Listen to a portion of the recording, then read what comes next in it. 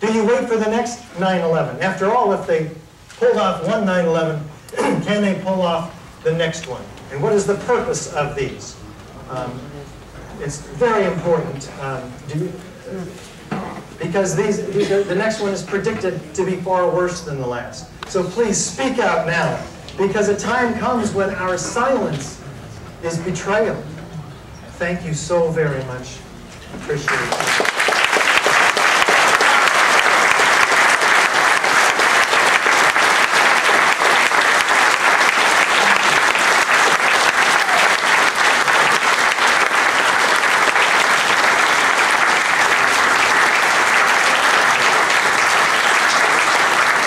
Thank you so much. Guess what? We have time for your questions, and you must have some. In the back here, hold up your, your mic real high, Mark, and is there one right here? Right here, Rich has one, he's gonna turn it on. Who's got the first question? There's one right here, and who on this side? Oh, over here. So we'll go on the right side first. Go ahead, Rich. Okay, we'll go over here where the microphone is working. Raise your hand again. Check, check. Let's see if we can turn that sucker on.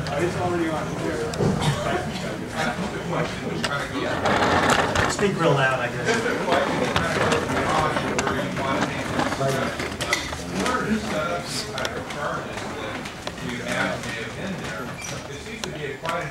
Was there any other explanation as far as how they could have gotten into these buildings no one could have seen any unusual objects or? Uh, Excellent question, and it turns out that if you had access to the elevator hoistways uh, in the, in the building, you would have access to the columns and beams immediately adjacent to them.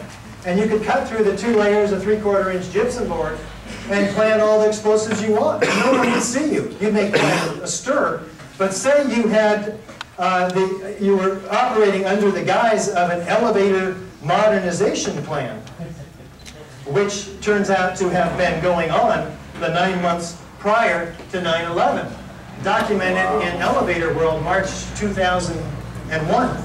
85 employees, in fact, of Ace Elevator were in, in the building working on the, the, uh, the- this modernization, and they fled when the first jet planes hit. It was quite a scandal. USA Today documented it quite well. They're supposed to help the firefighters rescue the people. It didn't happen. So, under the guise of an elevator modernization, the nine months prior to 9/11, it's completely plausible that that's a possibility. We don't know, a real investigation would help us achieve answers. Is it working now? I think so. Check, Yeah, check. talk right into the microphone. Microphone. Is yours working, Rich? Check, check. There we go. Question over here. Please use the mic. So uh, we have like suicide bomber pilots, we have demolition people placing charges, we have demolition companies shipping demolition products by the boxcar load, we have coordination people, we have press releases, we have like literally potentially hundreds of people involved in this kind of a uh, orchestrated demolition. Why haven't any of those people on their deathbed or in their conscience, what's their motivation? Someone's gonna get like a million dollars to participate. Where's the human side of the equation? Why hasn't someone spoke, spoken up? Yeah, I think that's a fair question, and I, I certainly have the same question. Uh, we don't know that they haven't spoken up. We do know that there's no audience for us who has the physical evidence, let alone them. And if you did speak up, you could be put in jail for mass murder, after all. Maybe some of them get a conscience, right? And need to, need to say something. But there's not an environment. We're called kooks, and we're technical building professionals. What are they going to be called? Uh, there's, there's just no support for, for these people to show up. And we don't know how many of them may still be alive also. There's a whole lot of possible answers. But that's all involving speculation, isn't it? So uh, while they're fair questions, uh, we're successful in avoiding them. uh, And as a result, they don't call us conspiracy theorists, or they try to. But what we have is evidence. I'm sure everybody would like to know, have some clarity on the aircraft, exactly what was going A on. little louder. I know everyone would like to know and have clarity on the aircraft, what exactly occurred, how did they arrange that? How did they arrange the aircraft? Where did they go? Okay. What happened to them? So many of us assume that the hijackers were on the aircraft. And we, all, the only evidence we have for that comes from our government. We know our government lied about Iraq. We know they lied about these building demolitions. What else are they lying about? Uh, we don't know. Um, we do know that airplanes can be remotely controlled. That technology exists.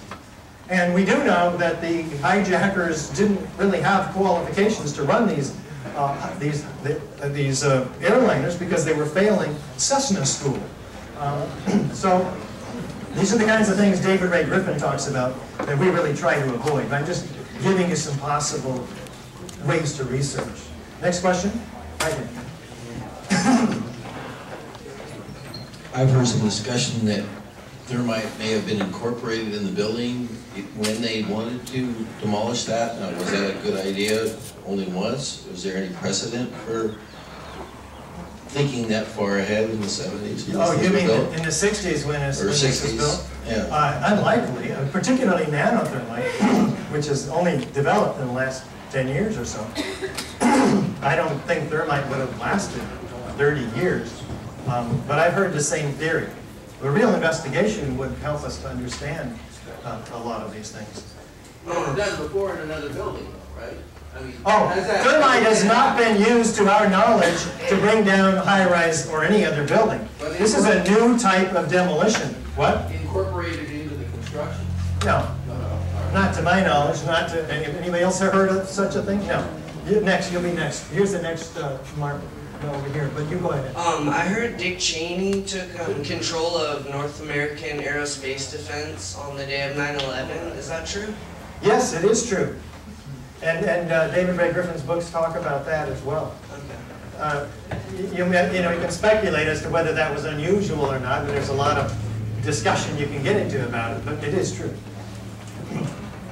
Uh, Can, we- Mark, where are you? Okay, here, and then come up front, we'll get two of these folks up front. Hi, um, you had asked earlier, when would they find the time to place those charges in those buildings? Um, I don't, how many people know, uh, here know that uh, George W. Bush's cousin was in charge of the uh, harbor patrol, which subsequently was in charge of those buildings, and two months prior to that, they were running evacuations on those buildings? Well, let, let's take it step by step. There's a security company in charge of the security, the World Trade Center, electronic security, that's called Securacom, changed names to Stratesec. We want an investigation of the security company, obviously, because you can't just do anything like this in a building without approval through the security company. There's some very interesting characters on the boards of the directors of those companies. Uh, so we want a real investigation. Uh, Now, go ahead and ask the second part. Also, um, I was wondering how many people here have had, have heard the name Larry Silverstein? Uh, I have. Okay. Um, Larry Silverstein on his one and only uh, interview on television. Let, let me just play it rather than tell everybody what he said. Uh, some people um, would really like to hear this firsthand, I am sure. Uh, and, and it is very interesting. Larry Silverstein purchased the buildings, uh, the He was, uh, he actually, he leased the buildings in a 99-year lease, and that paperwork only went through six weeks prior to 9/11, changing hands from public to private, from very suspicious uh, set of bidding circumstances as well. Now, after the buildings came down, uh, oh, by the way, he purchased them with investing only 125 million of his own money for a 3.5 billion, is it? Is it? It's it's a huge leverage deal, and um, he's now collected 5.6 billion dollars uh, from his insurance company. And so, I mean, he's, he's sitting